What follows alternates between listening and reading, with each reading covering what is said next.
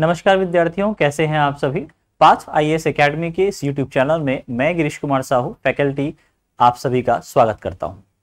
जैसा कि आप सभी इन दिनों मेंस की तैयारी में लगे हुए हैं और मुख्य परीक्षा 2023 जो है वो अब और नज़दीक आने वाली है।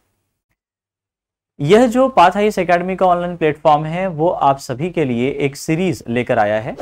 और जिस सीरीज़ में हम मेंस की जो test series 2023 Path IAS academy के कैंपस में ऑर्गेनाइज हो रही है और हर वर्ष ये आपके लिए संचालित की जाती है हमारे इंस्टीट्यूट के द्वारा। और इस वर्ष हम इस मेंस टेस्ट सीरीज़ के विभिन्न जितने भी पेपर्स हम ले रहे हैं, उन सभी पेपर्स के सब्जेक्ट वाइज एक्सप्लेनेशन भी इस यूट्यूब चैनल के माध्यम से आप सभी तक पहुँचा रहे हैं।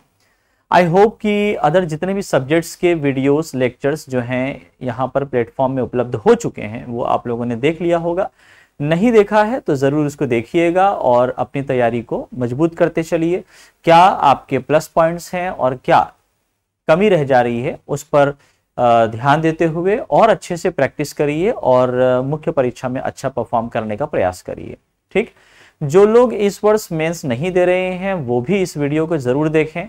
और मैं आपको ये भी बता दूँ, अगर आपको नहीं पता है तो कि सब्जेक्ट वाइज ये जो वीडियो सीरीज़ चल रही है मेंस के एक्सप्लेनेशन पार्ट की, वो आपका हिंदी माध्यम और इंग्लिश मीडियम दोनों के लिए सेपरेट आ रही है। तो इसमें आप ज़रूर जाइए और इस यूट्यूब चैनल में नीचे डिस्क्रिप्शन बॉक्स में भी आपको वीडियो लिंक मिल जाएगा और उसमें जाकर के आप देख सकते हैं। नहीं तो फिर आप इस यूट्यूब चैनल में आए और प्ले लिस्ट में चले जाइएगा M T S explanation twenty twenty three mains की टेस्ट सीरीज़ जिसको हम शॉर्ट में एम टी एस कह रहे हैं, उसमें आप आइएगा और ज़रूर इस वीडियो को देखिए। आज के इस वीडियो लेक्चर में हम क्या कवर करने वाले हैं, ये मैं आपको जल्दी से बता देता हूँ। देखिए, आज हम टेस्ट नंबर सेवन के बारे में बात करने वाले हैं, जो आपका 16 मार्च को ऑर्गेनाइज हुआ था। और इस, जो टेस्ट नंबर सेवन है, इसमें आपका जो सब्जेक्ट था, तीन महत्वपूर्ण सब्जेक्ट्स थे, जिसमें से छत्तीसगढ़ के जो इकोनॉमी है, छत्तीसगढ़ की अर्थव्यवस्था, वो हम इस वीडियो सेशन में जो है, देखने वाले हैं। ओके किस तरीके से हमारे अप्रोच होगा? जैसा कि हम पिछले कुछ वीडियोस में कहते आए हैं आज भी हम वही करने वाले हैं कि इस पेपर में कौन कौन से क्वेश्चंस पूछे गए थे उस पर हम चर्चा करेंगे। आ, कितने मार्क्स के पूछे गए थे कौन से प्रश्न हैं।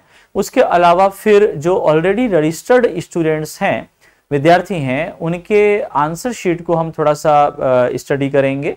और देखेंगे कि किस तरीके से उन्होंने लिखा है और उसमें कितने मार्क्स उनको मिले हैं और क्यों उनके नंबर कट गए हैं निगेटिव मार्किंग कहाँ पर हुई है। फिर साथ ही साथ हम जो है मॉडल आंसर देखेंगे, जिसमें हम कंटेंट पर बात करेंगे कि इस प्रश्न का उत्तर हमें किस प्रकार से क्या लिखना चाहिए था और क्या बेहतर एक उत्तर हो सकता है, जिसमें आपको महत्वपूर्ण रूप से ज़्यादा से ज़्यादा अंक आप अर्जित कर सकते हैं। ओके चलिए तो स्टार्ट करता हूँ सेशन लेकिन आगे बढ़ने से पहले एक ज़रूरी सूचना आपको मैं बता दूँ कि अगर आपने पाथ आइस एकेडमी के सीजीपीएससी मेंस टेस्ट सीरीज़ 2023 को ज्वाइन नहीं किया है तो अभी भी आप ज्वाइन कर सकते हैं। और ऑनलाइन और ऑफलाइन दोनों मोड में ये उपलब्ध है। 24 फरवरी से स्टार्ट हुआ है 16 मई तक ये चलने वाला है। और तीन अलग अलग राउंड्स हैं यहाँ पर राउंड वन राउंड टू और राउंड थ्री टोटल 28 जो टेस्ट हैं, वो इसमें लिए जाएँगे। ओके तो राउंड वन तो लगभग आपका कंप्लीट हो चुका है अभी आपका राउंड टू के दो पेपर भी हो चुके हैं ओके okay? लेकिन यदि आप अभी रजिस्ट्रेशन करवाते हो तो भी आपको राउंड वन के पेपर्स जो है पीडीएफ फॉर्म में अवेलेबल करा दिए जाते हैं, ताकि आप स्वयं से उसकी तैयारी करें और आंसर जो है लिख करके आप हमसे चेक भी करवा सकते हो ओके okay? वहीं राउंड टू राउंड थ्री ये भी आपका अभी आगे आगे जो है आने वाला है तो कुल मिला के मान के चलिए कि यदि आप इंडिविजुअल राउंड वाइज रजिस्टर करते हो तो भी आपके पास ऑप्शन अवेलेबल है और नहीं तो पूरा आपको चाहिए तो एक साथ आप जो है रजिस्ट्रेशन करवा सकते हो पूरे मेंस टेस्ट सीरीज़ के लिए, ओके? तो बाकी डिटेल्स के लिए आप दिए गए डिटेल्स पर कॉन्टेक्ट पर जो है जाएँ और कॉल करें हमें और या फिर विज़िट कर सकते हैं जो आपका पाथ आईएएस एकेडमी का जो ऑफलाइन कैंपस है रायपुर सिविल लाइंस में, वहाँ पर आपको ज़रूरी सूचना मिल जाएगी, ओके? चलिए तो इस टेस्ट नंबर सेवन में हमारे पास तीन विषय थे जिनसे प्रश्न पूछे गए थे। एक भारतीय अर्थव्यवस्था, दूसरा छत्तीसगढ़ की अर्थव्यवस्था और तीसरी आपकी छत्तीसगढ़ी भाषा। तो आज जो हम देखने वाले हैं, वो छत्तीसगढ़ की जो इकोनॉमिक्स है, यानी कि छत्तीसगढ़ की अर्थव्यवस्था, वो हम लोग देखने वाले हैं। ओके? और, इस पर हम चर्चा करेंगे। तो सबसे पहले हम बात करते देखिए, कुल जो है प्रश्न, यहाँ पर उनचास प्रश्न थे इन तीनों विषयों से संबंधित और तीन घंटे का समय, जैसा कि हमारा सीजीपीएससी मेंस में होता है। ओके अधिकतम अंक वैसे ही रखे गए हैं, जैसा सीजीपीएससी की मुख्य परीक्षा में रखा जाता है। तो सेम पैटर्न पर ये आपका हुआ है, ठीक? तो इसमें ये जो भाग दो है, छत्तीसगढ़ की अर्थव्यवस्था, उसमें कौन कौन से प्रश्न पूछे गए थे, यदि हम देखें तो सबसे पहला जो आपका पैटर्न आता है, वो आपका खंड एक जो है सेक्शन वन यानी कि दो अंकों का, जो कि तीस शब्दों का लिखना है इसमें आपको उत्तर। ठीक है कौन कौन से प्रश्न है? तो टोटल दो अंकों के यहाँ पर छह प्रश्न पूछे गए हैं, यानी कि बारह अंकों का प्रश्न यहाँ पर आ गया है। ओके ठीक, इसमें छह प्रश्न क्या क्या है? देखिए, पहला प्रश्न है आपकी स्क्रीन पर, वो है आपका महतारी वंदन योजना पर संक्षिप्त टिप्पणी लिखिए। दूसरा प्रश्न है, सहकारिता से आप क्या समझते हैं? तीसरा प्रश्न है, महिला सशक्तिकरण से आप क्या समझते हैं? बहुत इंपॉर्टेंट प्रश्न है। वहीं पर अनुसूचित जनजाति के सामाजिक पिछड़ापन को आप व्यक्त करने वाले प्रमुख संकेतक कौन कौन से हैं? यह एक प्रश्न पूछा गया है। और मुख्यमंत्री बाल संदर्भ योजना की व्याख्या कीजिए। और आखिरी प्रश्न है यहाँ पर, छत्तीसगढ़ में ग्रामीण साख के संस्थागत स्रोत से आप क्या समझते हैं? ओके तो इतने प्रश्न यहाँ पर पूछे गए थे दो अंकों के। अब आ जाते हैं चार अंकों के प्रश्न में। तो चार अंकों के भी हमारे पास कुल मिलाकर के चार प्रश्न हैं, जो कि 16 मार्क्स के यहाँ पर आ गए हैं। तो देखिए इसमें कौन कौन से प्रश्न हैं। पहला है, मुख्यमंत्री कन्या विवाह योजना के बारे में आप क्या जानते हैं? दूसरा प्रश्न यहाँ पर आ रहा है, छत्तीसगढ़ बजट 2024-25 के अनुसार कितने आधारभूत रणनीतिक स्तंभ बताए गए हैं? नंबर नाइन, छत्तीसगढ़ बजट 2024-25 के अनुसार राज्य की आर्थिक स्थिति का आकलन कीजिए। और चार नंबर में आखिरी प्रश्न है, प्राथमिक कृषि साख समिति के प्रमुख उद्देश्यों पर प्रकाश डालिए। ओके तो ये चार प्रश्न आपके जो है फोर मार्क्स में यहाँ पर आए हैं। है ना? चलिए, अगला प्रश्न देखते हैं खंड क्रमांक तीन का। यानी कि आठ अंकों का प्रश्न है जो कि सौ शब्दों में उत्तर लिखने की जो है परमिशन देता है। ओके तो प्रश्न क्रमांक 11 यहाँ पर है। बाल श्रम से प्रभावित बच्चों के लिए राज्य सरकार द्वारा किए गए विशेष पहल पर चर्चा कीजिए। बाल श्रम से संबंधित प्रश्न यहाँ पर आ रहा है, बहुत इंपॉर्टेंट हो जाता है ये। फिर आता है श्री राम लला दर्शन योजना पर चर्चा कीजिए। राज्य में लिंगानुपात के जिलेवार वितरण को समझाइए। छत्तीसगढ़ में ग्रामीण साख या ऋणों की क्या समस्याएँ हैं? ओके तो आठ अंकों का यहाँ पर फिर से चार प्रश्न आया है, यानी कि ये बत्तीस प्रश्न बत्तीस अंकों का ये प्रश्न आपका पूछा गया है। ठीक है? खंड क्रमांक तीन से। आखिरी खंड देखिए सेक्शन नंबर फाइव है, यानी कि पंद्रह अंकों का प्रश्न है 175 शब्दों में आपको लिखना है। प्रश्न आया था कि महिलाओं के आर्थिक सशक्तिकरण। है ना? महिलाओं के सशक्तिकरण नहीं, बल्कि क्या पूछा जा रहा है? महिलाओं के आर्थिक सशक्तिकरण के लिए राज्य में किए जाने वाले प्रयासों का मूल्यांकन कीजिए। ओके? तो ये रहे आपके इतने सारे प्रश्न, है ना? तो कुल मिलाकर के यदि आप देखें तो ये आपका 12 नंबर का प्रश्न आया था 16 का 32 का और फिर ये आपका 15 का। यानी कि ये आपका जो है सेवेंटी फाइव मार्क्स का प्रश्न इस भाग दो के इस छत्तीसगढ़ की अर्थव्यवस्था विषय से पूछा गया टेस्ट नंबर सेवन में, ठीक है? तो देखिए, ये बहुत सारे इंपॉर्टेंट प्रश्न हैं और ये सारे प्रश्न आपको बिल्कुल कर लेने चाहिए। ये ऐसे प्रश्न होते हैं जो बिल्कुल संभावना बनती है कि आपको मुख्य परीक्षा 2023 के प्रश्न पत्र में ज़रूर मिलने वाला है, ओके? तो तैयार कर लें इसको। चलिए, अब आगे हम लोग देखते हैं, चर्चा करते हैं। एक दो हम लोग आंसर शीट लेंगे अलग अलग जो रजिस्टर्ड स्टूडेंट्स हैं, उनकी परफॉर्मेंस के आधार पर। और उन पर हम चर्चा करेंगे कि उन्होंने कैसे, किस प्रकार से उत्तर लिखा है और कैसे लिखा जाना चाहिए था। ओके, देखिएगा। तो देखिए, पहला प्रश्न पत्र जो है सॉरी पहला उत्तर पत्र हम लोग लेते हैं। और महतारी वंदन योजना, ये जो दो मार्क्स का यहाँ पे क्वेश्चन हम लोग खंड सेक्शन नंबर वन से हम देख रहे हैं, उसमें क्या इन्होंने लिखा है? महिला सशक्तिकरण हेतु राज्य सरकार द्वारा प्रति माह एक हज़ार रुपए डीबीटी के द्वारा महिलाओं को दिया जा रहा है। योग्यता 18 वर्ष से अधिक विवाहित विधवा परित्यक्ता जो अन्य किसी मानदेय का लाभ नहीं ले रहे हैं, बारह हज़ार प्रति वर्ष 10 मार्च को पहली माह की राशि हस्तांतरित की गई। ओके, देखिए इस प्रश्न का उत्तर जो इन्होंने लिखा है, इसमें चूँकि एक योजना के बारे में पूछी गई है तो योजना से संबंधित जो बातें हुआ करती हैं, जैसा कि हम पहले भी डिस्कस कर चुके हैं कुछ प्रीवियस लेक्चर्स में, कि जब भी योजना के बारे में आए तो एक तो ये होता है कि योजना का प्रारंभ ओके कि वो योजना कब से प्रारंभ हुई है या कहाँ से प्रारंभ हुई है दोनों ही चीज़ें होती हैं। है ना कि कुछ होता है कि लाइक जो आपके मुख्यमंत्री हैं है ना? विष्णुदेव साय जी उन्होंने जो है इस गाँव में जाकर के इस दिन आ, इसका उद्घाटन किया ये योजना प्रारंभ करी ऐसा करके ठीक है? तो यहाँ पर हमारे पास स्थान और तिथि दोनों आ जाता है प्रारंभ के बारे में। फिर प्रमुख जो चीज़ है वो ये है कि जो योजना है उसका उद्देश्य क्या है? कभी कभी प्रश्न में सीधे तौर पे पूछ देता है कि इस योजना का उद्देश्य बताइए। है ना? नहीं पूछा है तो केवल जनरल क्वेश्चन पूछता है। जैसे यहाँ पर की संक्षिप्त टिप्पणी कीजिए तो आपको एक उद्देश्य से एक हेडिंग बना करके ज़रूर लिखना चाहिए। ठीक? फिर ये योजना जो है, इसके हितग्राही कौन है? या कहेंगे लाभार्थी कौन है? या किस वर्ग के लिए ये, योजना बनाई गई है? ठीक? फिर एक प्रमुख पहलू आता है कि इस योजना में क्या क्या प्रमुख प्रावधान हैं। ओके? लाइक like, सरकार ने इस योजना के तहत क्या निश्चय किया है कि भाई आ, आ, क्या दिया जाएगा? है ना? कितने का प्रावधान होगा? जैसे यहाँ पर एक हज़ार रुपये प्रति माह दिया जाएगा प्रति वर्ष बारह माह जो है बारह हज़ार दिया जाएगा ये सब चीज़ें ये प्रावधान में आती हैं। और एक और चीज़ जो आती है वो आती है क्या? पात्रता। है ना? पात्रता। जैसे इसमें हमने लिख दिया कि भाई महिला वर्ग जो है, इसके हितग्राही होते हैं।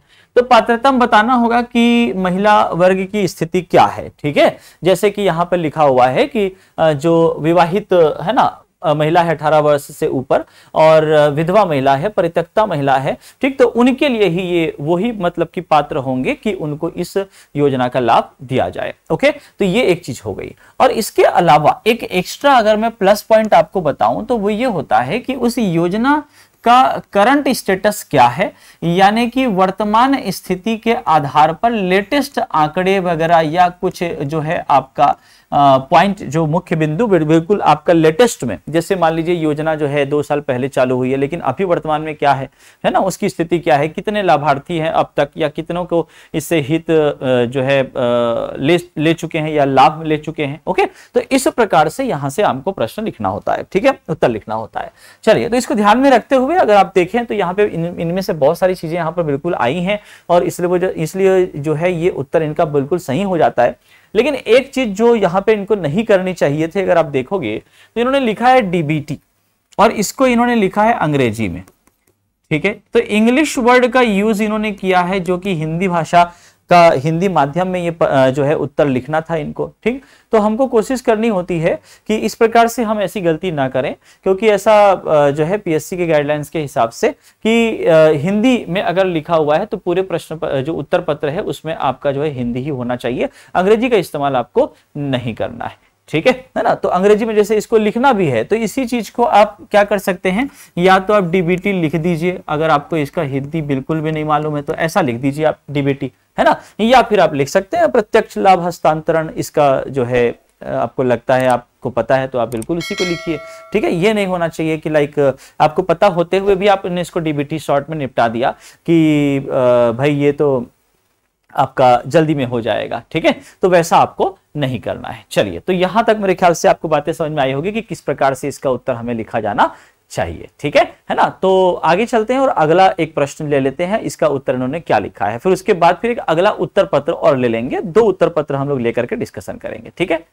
देखिए तो आपका जो दूसरा प्रश्न है, सहकारिता से आप क्या समझते हैं? यह पारस्परिक सहयोग पर आधारित बैंकिंग संस्था और सहकारी संस्था को संगठित कर उनका विकास करना है तथा कमज़ोर वर्गों के शोषण को रोकने और सामाजिक और आर्थिक विकास को निश्चित कर सके। ओके चलिए तो एक थोड़ा सा शॉर्ट में इन्होंने लिखने का प्रयास किया है है ना? तो कुछ हद तक सही है, लेकिन पूरा कंप्लीट इंफॉर्मेशन यहाँ पे नहीं दे पा रहे हैं। तो यहाँ पर इसलिए इनको एक अंक यहाँ पर मिला है दो में से, ठीक है? एक दूसरा पत्र हम लोग लेते हैं, उत्तर पत्र, जिसमें फिर से इन्होंने क्या लिखा है, देखते हैं। प्रदेश की नवीन योजना ओके चलिए, बहुत अच्छा। एकदम से मतलब एक नवीन योजना ऐसा इन्होंने जो लिखा है तो एक तरह से थोड़ा सा ताजापन लग रहा है है ना? ताज़ा ताज़ा गर्मा गर्म अभी अभी आपका ये योजना आई है, ऐसा वाला, ठीक? चलो तो प्रदेश की नवीन योजना, महतारी बंधन योजना में तीन हज़ार करोड़ रुपए का प्रावधान बजट में किया गया है। इसके तहत महिलाओं को प्रति माह एक हज़ार रुपए प्रति वर्ष की दर से, यहाँ पे शॉर्ट में इन्होंने छोटा सा लिख दिया है, बारह हज़ार रुपए। ओके, देने का प्रावधान है। महिलाएँ शादीशुदा हो परित्यक्ता या असहाय तथा आजीविका का स्रोत न होने पर उनको स्वास्थ्य, पोषण एवं आत्मनिर्भर बनाने के उद्देश्य से मार्च 2024 में लागू किया गया, जिसका, जिसकी प्रथम किस्त 8 मार्च 2024 में इसके खाते में जो है भुगतान की गई। चलिए भाई, एक में 8 मार्च लिखा है, एक में 10 मार्च लिखा है है ना? सही उत्तर क्या है वो देख लेंगे जरा। अब देखिए तो यहाँ पर इन्होंने जो लिखा है, एक चीज़ जो अवॉइड की जा सकती थी, है ना, ये एक व्यक्तिगत राय हो सकती है। जैसे कि इन्होंने एक बार लिखा, प्रदेश की नवीन योजना।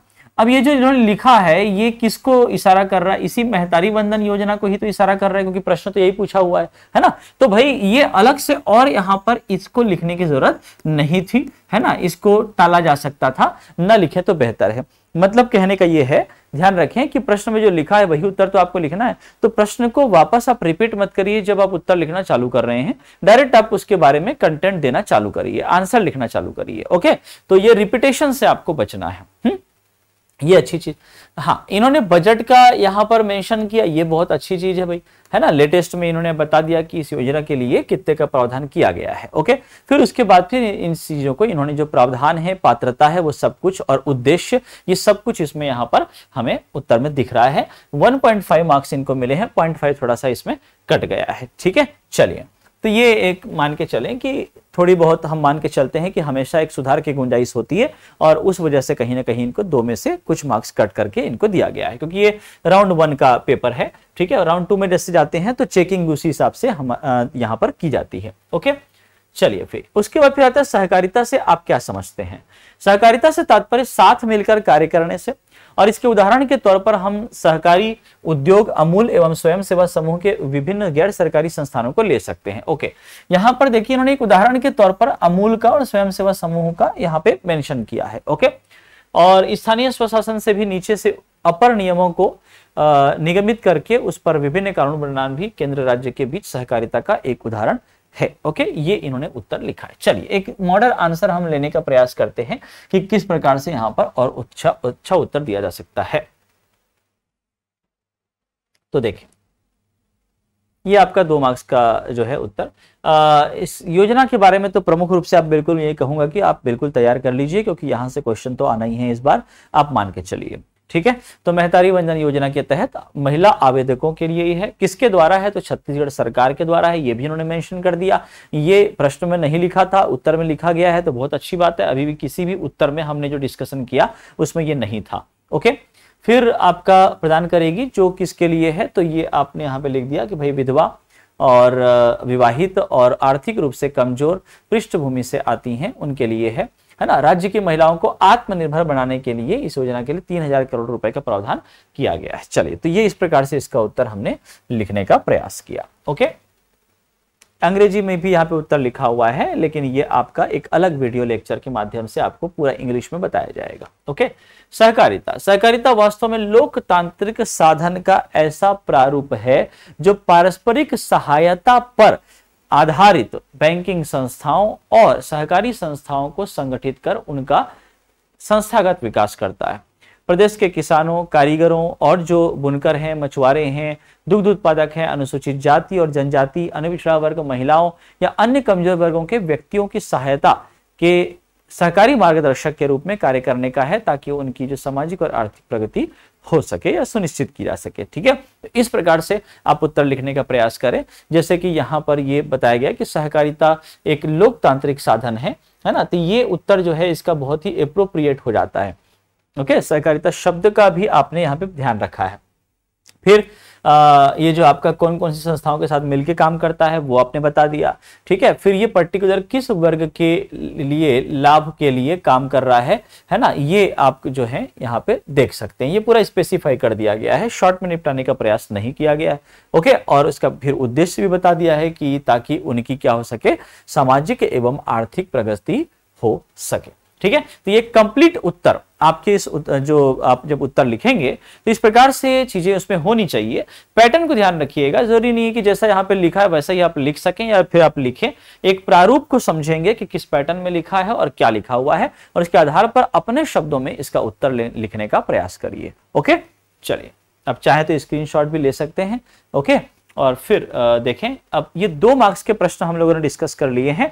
अब चार मार्क्स के जो प्रश्न आए हैं, है ना, उस पर हम चर्चा करते हैं, ठीक? आपको बस समझते चलना है कि कितने मार्क्स के क्वेश्चन हैं और उसमें किस प्रकार से लिखा गया है और थोड़ा सा प्रश्न के आधार पे कंटेंट पर भी ध्यान रखिएगा, ओके? देखें चार अंकों के प्रश्न में। पहला प्रश्न है, मुख्यमंत्री कन्या विवाह योजना के बारे में आप क्या जानते हैं, ओके? तो देखिए, फिर से वही योजना के बारे में है तो और पूरा, पूरी तरह से प्रश्न पूछा हुआ है कि आप क्या जानते हैं? मतलब जो भी जानते हैं, वो सारी चीज़ें आपको लिखनी है। मतलब ये नहीं है कि सिर्फ़ उद्देश्य लिखना है या सिर्फ़ प्रावधान लिखना है या सिर्फ़ पात्रता लिखनी है, सारी चीज़ें आपको यहाँ पे बतानी है, ओके?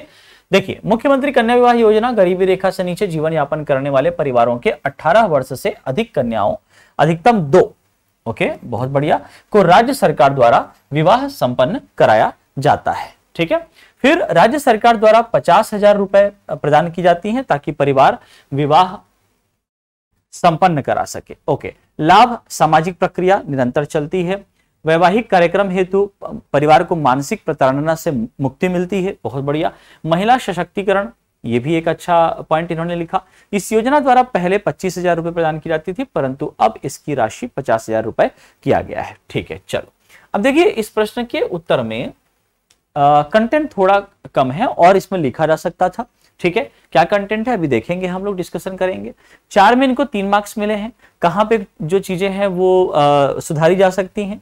पहला चीज़ ये कि ये जो आंसर इन्होंने लिखा है इसमें स्पष्ट रूप से ये चीज़ हमको समझ में आ जाती है कि इन इनके पास बहुत ज़्यादा जो है है ना कंटेंट नहीं था और मे भी इस वजह से इन्होंने थोड़ा सा स्पेस छोड़ा।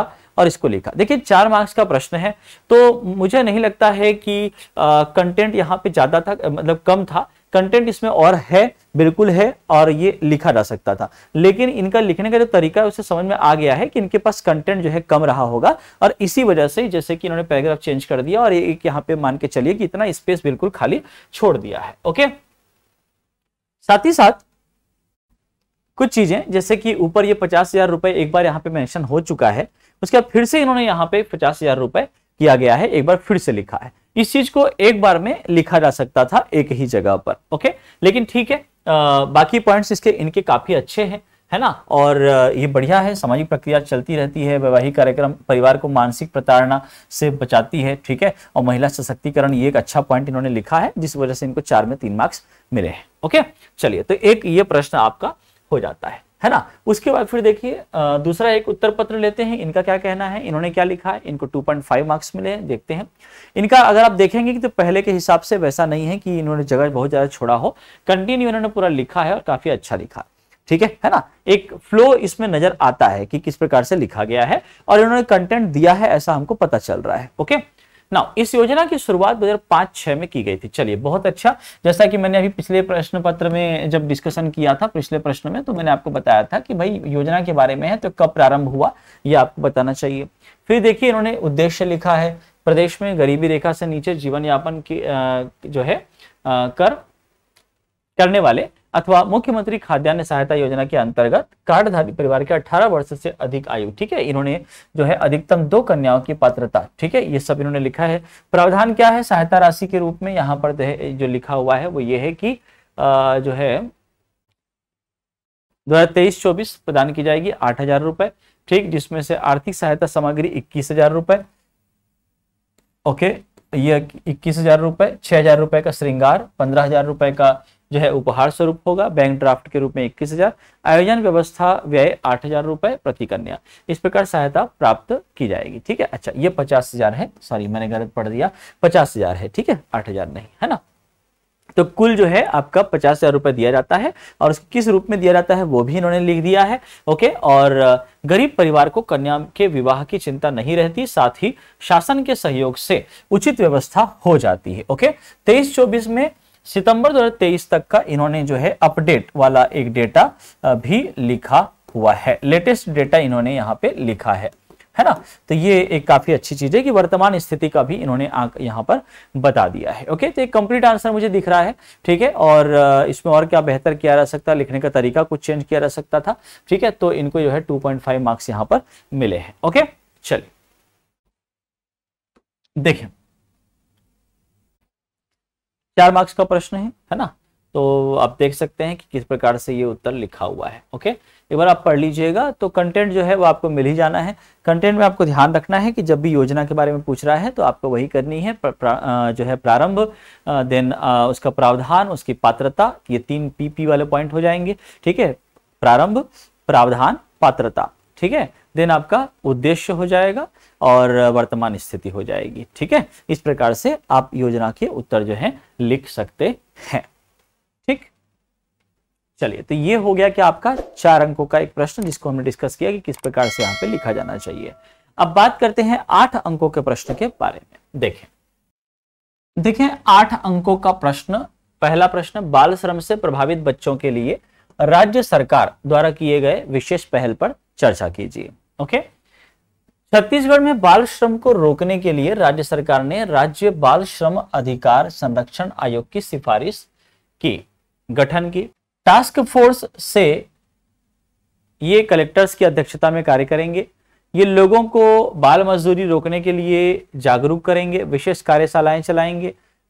नुक्कड़ नाटक एवं स्वयं सहायता समूह तथा एनजीओ की सहायता से उनको समाज की मुख्यधारा में लाने का प्रयास करेंगे। ज़रूरत पड़ने पर उन बच्चों को काउंसलिंग की सुविधा भी उपलब्ध कराई जाएगी। ओके? आ, या कराए जाने का प्रावधान है। इन बच्चों को रखने उनके पढ़ने लिखने खान पान की ज़िम्मेदारी यह टास्क फोर्स विभिन्न आवश्यक समितियों की मदद से करेंगे। राज्य के सात जिलों में जो कि क्रमशः सरगुजा कोरबा रायगढ़ बिलासपुर रायपुर दुर्ग और राजनांदगांव में जो आपका ये बाल श्रमिक शाला संचालित की जाएगी। जहाँ तेरह हज़ार चार सौ बच्चे अध्ययनरत हैं, इन शालाओं का संचालन विभिन्न स्वयं सहायता समूह एवं ग्राम पंचायतों के माध्यम से किया जा रहा है। ओके? तो काफ़ी अच्छा एक आंसर उन्होंने लिखा है। आठ मार्क्स में इनको तीन मार्क्स यहाँ पे दिए गए हैं। ओके? देखिएगा। इस पर हम लोग बात कर लेते हैं। तो देखें, बाल श्रम से प्रभावित बच्चों के लिए राज्य सरकार द्वारा किए गए विशेष पहल कौन कौन से हैं? है ना? ये आपका, देखिए, पहल की बात हो रही है तो इस प्रकार से आपको लिखना था। एक जनरल आंसर नहीं देना है है ना? जो क्या क्या योजनाएँ उनसे संबंधित या कुछ प्रयास जो सरकार के द्वारा किएगा वो उसके बारे में चर्चा करने के लिए बात यहाँ पे की जा रही है, ओके? तो जो आंसर अभी तक हम लोगों ने आंसर शीट में देखा, अभी जो बच्चे ने लिखा, उसमें एक जनरल आंसर हमको दिख रहा था। जनरल आंसर न दे करके आपको क्या करना है, इस तरीके से लिखना है है ना? जैसे, उम्मीद उजियार, है ना, छत्तीसगढ़ बाल कोष ये कुछ पॉइंट्स है जिसको यहाँ पे डिस्कस किया गया है कि उनसे संबंधित क्या क्या चीज़ें हैं क्या क्या चीज़ें यहाँ पर करी गई हैं, प्रयास किया गया सरकार के द्वारा, ओके? तो इस प्रकार से यदि आप आंसर लिखेंगे तो आपको जो है कंप्लीट आंसर जो है कंप्लीट है ना, और एक अच्छा आंसर उसको माना जाएगा और आपको अंक भी बढ़िया मिलेंगे। बाल सक्षम नीति, इसके बारे में आप यहाँ पे लिखिएगा, ओके? स्क्रीनशॉट आप ले सकते हैं। इस प्रकार से यदि आप आंसर करते हो तो देखिए चार पॉइंट ही लिखा गया है लेकिन इस चार पॉइंट को पूरी तरह से विस्तार से यहाँ पर आ, क्या किया गया है उसके बारे में बताया गया है ओके? तो ये पूरी व्याख्या करता है यहाँ पर इस उत्तर के साथ ये पूरी तरह से इंसाफ भी कर रहा है ठीक है? तो ऐसे जस्टिफाइड करते हुए आंसर आप करिए। तो एट मार्क्स का ये क्वेश्चन हो गया इस प्रकार से आप आंसर लिखिएगा। उसके बाद फिर हम चलते हैं सीधे पंद्रह अंक वाले प्रश्न में और उसमें देखते हैं कि क्या लिखा है। देखें, महिलाओं के आर्थिक सशक्तिकरण के लिए राज्य में किए जाने वाले प्रयासों का मूल्यांकन कीजिए। तो आर्थिक सशक्तिकरण की बात हो रही है। आर्थिक सशक्तिकरण यानी कि आपको इकोनॉमिकली जाकर के इसका आंसर करना होगा ओके जनरल आंसर नहीं होगा कि समाज के उत्थान के लिए, महिलाओं के लिए क्या क्या चल रहा है, ऐसा नहीं लिखना है। केवल उन्हीं चीज़ों को लिखना है जो अर्थव्यवस्था से संबंधित हो लाइक उनके जीवन यापन से संबंधित हो, जो उनके गुजारा चलाने में उनका सहायक हो। ठीक है? इस प्रकार से आपको लिखना है। ओके? चूँकि शिक्षा के आयाम आर्थिक, सामाजिक, राजनीतिक पहलू को जोड़ती हैं और शिक्षा ही आर्थिक सशक्तिकरण के आधार है, इस हेतु आर्थिक सशक्तिकरण का आधार स्तंभ शिक्षा है। शिक्षा हेतु प्रयास।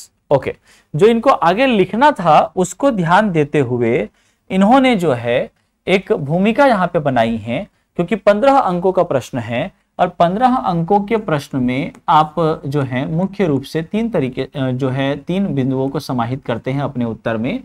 एक ये कि आप एक क्या करते हैं, मुख्य रूप से एक भूमिका बनाते हैं। उसके बाद फिर आप जो है प्रमुख बिंदुओं को स्थान देते हैं उस विषय, उस प्रश्न से संबंधित। और उसके बाद फिर क्या करते हैं जो है उसका निष्कर्ष आप लिखते हैं। ठीक है? इस तीन फॉर्म में आप लिखा करें। यदि आप देखें तो मुख्य भूमिका जो है पूरे उत्तर का 10 प्रतिशत होना चाहिए और यह आपका जो है 80 प्रतिशत होना चाहिए और निष्कर्ष जो है वो पूरे उत्तर का 10 प्रतिशत होना चाहिए। तो 10 80 10 इस रेशियो में आप इसका उत्तर लिखेंगे ओके तो जैसे यहाँ पे थोड़ी सी भूमिका बना दी गई, उसके बाद फिर अगर आप देखें तो हेडिंग बना करके आगे इन्होंने लिखा है। लाइक महिला साक्षरता की इन्होंने बात कर दी, फिर उससे संबंधित कौन कौन सी चीज़ें हैं? तो सरस्वती साइकिल योजना, कस्तूरबा गांधी आवास योजना, निःशुल्क गणवेश, मध्यान्ह योजना, छात्रवृत्ति योजना।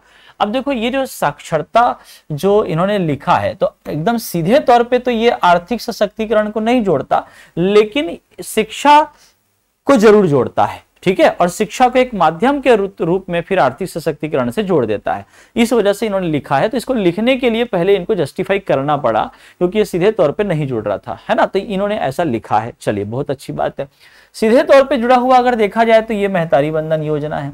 ओके? क्योंकि आर्थिक सहायता दी जा रही है सरकार के द्वारा। फिर महिला स्व सहायता समूहों के बारे में लिखा हुआ है। क्यों? क्योंकि महिला स्व सहायता समूहों को जो राज्य सरकार कुछ सेवाएँ देती है उसमें इनको रखा जाता है या इनको वह कार्य करने के लिए दिया जाता है। जैसे लाइक गढ़ कलेवा अगर आप देखें तो गढ़ कलेवा जो है जो हर एक ज़िले में आपकी होती है छत्तीसगढ़ के पारंपरिक व्यंजनों को वहाँ पर दिया जाता है सर्व किया जाता है ठीक है? तो उसमें महिला स्व सहायता जो समूह होते हैं उन्हीं को मान के चलिए कि यह कार्य दिया जाता है ओके? टेंडर उनको दिया, जाता है है ना? तो ये एक आर्थिक सशक्तिकरण का ज़रिया बन गया तो ये अच्छा लिखा हुआ है। बिहान योजना का मेंशन यहाँ पे कर रहे हैं तो राष्ट्रीय ग्रामीण आजीविका मिशन द्वारा जो है रोज़गार हेतु, उचित कौशल विकास का प्रशिक्षण प्रदान करना, ये बिहान योजना में इन्होंने लिखा है। आंगनबाड़ी सहाय, सहायिका, है ना मितानीन ये सब महिलाओं के मानदेय में वृद्धि की गई है। चलिए, अच्छी बात है। फिर संस्थागत प्रस्ताव कराने पर मातृत्व सहायता हेतु भी राशि दी जाती है। बहुत अच्छी बात। इसको भी इन्होंने इंक्लूड किया है। मनरेगा के तहत भी बहुत अच्छी बात है। ये मातृत्व अवकाश पर भी अब राशि प्रदान की जाती है। तो महिला सशक्तिकरण को और जोड़ दिया जा रहा है।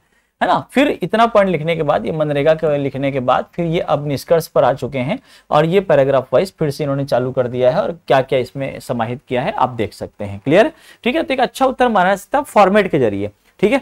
फॉर्मेट वाइज अगर देखा जाए तो इसका प्रारूप बिल्कुल सही फिट बैठ रहा है।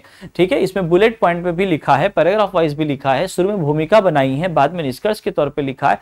तो ये कंप्लीट एक आंसर यहाँ पे हमको देखने को मिल रहा है। ठीक है? चूँकि पंद्रह अंकों का प्रश्न है और राउंड वन का टेस्ट है, इसलिए इनको जो नंबर दिए गए हैं, ये आपका जो है एट मार्क्स दिए गए हैं, जो कि काफ़ी अच्छा नंबर है as a beginner as a round one answer writing okay तो इसको ध्यान में रखेंगे। चलिए, इसका एक उत्तर हम लोग देख लेते हैं। उत्तर क्या हो जा हो सकता है इसमें? तो देखिएगा, छत्तीसगढ़ महिला कोष अंतर्गत ऋण योजना, सबसे महत्वपूर्ण पहलू, चूँकि आर्थिक सशक्तिकरण की बात हो रही है तो ये छत्तीसगढ़ महिला कोष के बारे में मेंशन करना तो बनता है। ओके, इसको ज़रूर हमको लिखना चाहिए और ज़रूर इन्होंने लिखा हुआ है। ओके तो इस पर बढ़ावा देने के लिए जो सरकार है, उसने क्या किया है कि आपका स्वयं सहायता समूहों के गठन, उनके सुदृढ़ीकरण, उनके आर्थिक गतिविधि के लिए वित्तीय एवं अन्य सुविधाएँ उपलब्ध कराने के उद्देश्य से छत्तीसगढ़ महिला कोष का गठन, छत्तीसगढ़ सोसाइटी रजिस्ट्रीकरण अधिनियम उन्नीस सौ तिरपन के, सॉरी, तिहत्तर के तहत किया गया है। ठीक है? ये इन्होंने यहाँ पर लिखा है। ओके फिर महिला कोष के द्वारा क्या किया जाता है, वो यहाँ पे बता दिया गया है कि आसान शर्तों पर ऋण उपलब्ध कराया जाता है। ठीक है? तो ये इन्होंने लिखा है है ना? और उसमें क्या क्या प्रावधान है, वो यहाँ पर विस्तार से लिख दिया गया है, बिल्कुल मेंस की हिसाब से आप चलें तो। फिर उसके बाद फिर यदि आप देखोगे तो ये सक्षम योजना के बारे में बताया गया है। ठीक है? सक्षम योजना के बारे में। उसके बाद फिर अगर आप चलें तो इसमें स्वावलंबन योजना के बारे में दिखाई पड़ रहा है। ये देखिए, ये स्वावलंबन योजना के बारे में इन्होंने लिखा हुआ है। ओके? उसके बाद फिर ये जो है आपका, ये 15 मार्क्स का क्वेश्चन यहाँ पे समाप्त होता है, ठीक है? तो ये इस प्रकार से इसके उत्तर आपको लिखने थे। ये कंटेंट आपको यहाँ पे मिल जा रहा है, इस हिसाब से आप अपना उत्तर लिखने का प्रयास करें, ठीक है? स्क्रीनशॉट ले लीजिएगा तो और बेहतर रहेगा, लेकिन कोशिश करिएगा कि इसको छापिएगा नहीं।